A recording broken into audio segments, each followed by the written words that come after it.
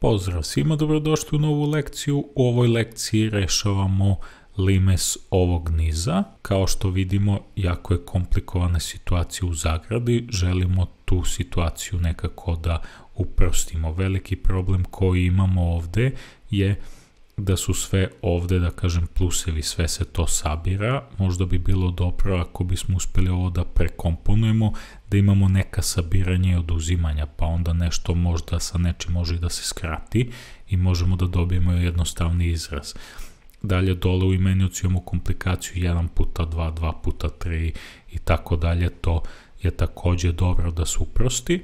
Znači ovde ćemo da probamo da razdelimo svaki od ovih razlomaka. Ovo je prvi razlomak, kad se to lepo pomnoži, sred je zapravo jedna polovina, drugi razlomak je jedna šestina, jer ovo dva puta tri kad pomnožimo dobije se šestina. E sad kako možemo drugčije jednu polovinu da napišemo? Pa možemo napišemo kao 1 minus jedna polovina. Znači, bukvalno sam i koristio ove cifre ovde, imate ovo 1 kroz 1, to je 1, pa minus ova jedna polovina i stvarno dobije se jedna polovina. Isto tako možemo da dobijemo i ovu jednu šestinu, znači da razdelimo i dobijemo jedna polovina minus jedna trećina. Znači stvarno kad bismo sračunali jedna polovina minus jedna trećina, stvarno se dobije da je jedna šestina.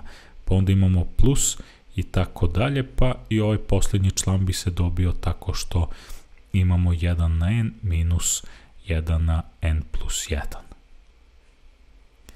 I to je sada dalje jednako, mi možemo ovde da krenemo da skidamo zagrade, znači dobili bismo da je to limes kada n teži plus beskonačnosti od 1 minus 1 polovina plus 1 polovina minus 1 trećina, pa bi ovde bilo plus 1 trećina, pa minus 1 četvrtina, plus i tako dalje.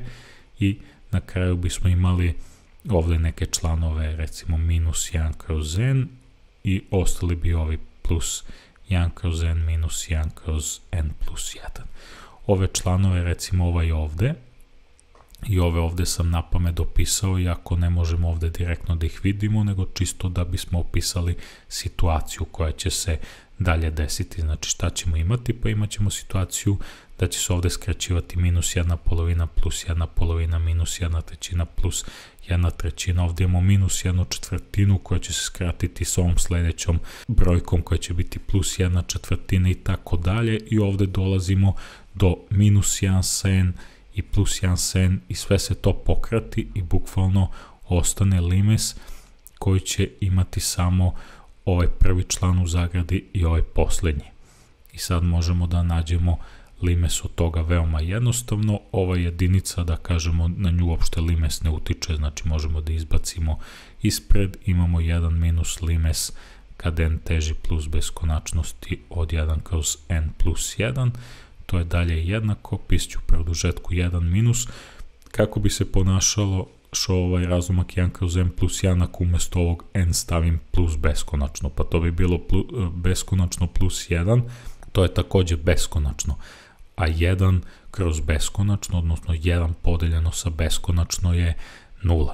Jer kad jedinicu podelimo sa ogromnim brojem dobije se 0. I dobijamo da je ovaj rezultat 1 minus 0, odnosno 1. Dakle, limes ovog niza je jednak jedinici. To je to što se tiče ove lekcije, vidimo se u narednoj lekciji, pozdrav i sve najbolje.